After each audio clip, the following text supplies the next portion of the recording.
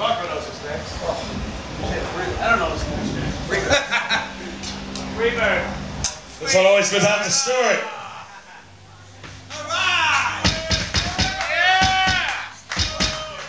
God, where's your green card, motherfucker?